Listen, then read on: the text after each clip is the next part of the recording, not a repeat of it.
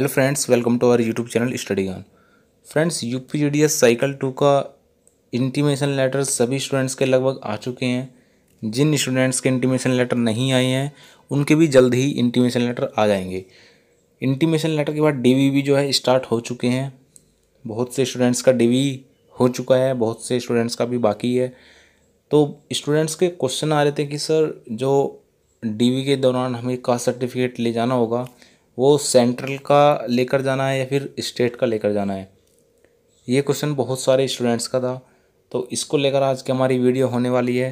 Video को अगर आपने अभी तक लाइक नहीं किया तो लाइक कर दीजिएगा। चैनल को सब्सक्राइब करके बेल आइकन को प्रेस करके रखिएगा ताकि आपको हमारे वीडियोज़ के सभी नोटिफिकेशन मिलते रहें। और यूपी जी से संबंधित अगर आपका कोई डाउट है, कोई क्वेश्चन है या आपको किसी भी चीज़ में प्रॉब्लम आ रही है डीवी में इंटीमेशन लेटर अभी तक नहीं आया तो उसके बारे में आप वीडियो के कमेंट बॉक्स में कमेंट कर सकते हैं। आपको उसका पूरा सोल्यूशन प्रोवाइड करने की कोशिश करेंगे। तो चलिए दोस्तों, आज का वीडियो स्टार्ट करते हैं।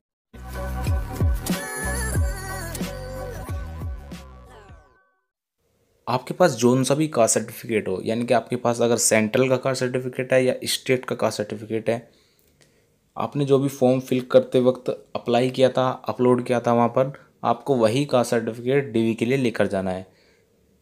आपको उसको चेंज नहीं करना है। बहुत सारे स्टूडेंट्स ये बोल रहे थे कि, सर, मेरा स्टेट का कास्ट सर्टिफिकेट है और मैंने फॉर्म फिल करते वक्त स्टेट का ही लगाया और अब क्या मैं अब स्टे सेंट्रल का कास्ट सर्टिफिकेट बनवा लूँ?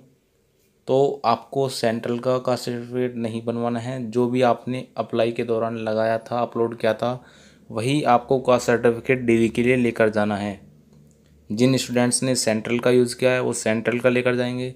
और जिन स्टूडेंट्स ने स्टेट का कास्ट सर्टिफिकेट यूज़ किया था, वो स्टेट का ही कास्ट सर्टिफिकेट डी के लिए लेकर जाएँगे।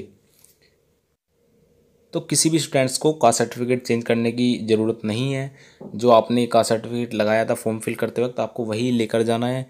आप उसको चेंज मत कीजिएगा, क्योंकि अगर आप उसको चेंज कर लेते हैं, अगर तो आपका कास्ट सर्टिफिकेट फॉर्म फिल करते वक्त अलग हो जाएगा और जब आप डीवी के लिए लेकर जाएँगे वो आप, आपका डिफरेंट होगा। तो इससे आपके डीवी में प्रॉब्लम आ सकती है आपका डीवी कैंसिल भी हो सकता है। तो आप उसको चेंज बिल्कुल भी मत कीजिएगा। आपने जो भी फॉर्म फिल करते वक्त कास्ट सर्टिफिकेट लगाया है वही कास्ट सर्टिफिकेट आपको लेकर जाना है डीवी के लिए भी।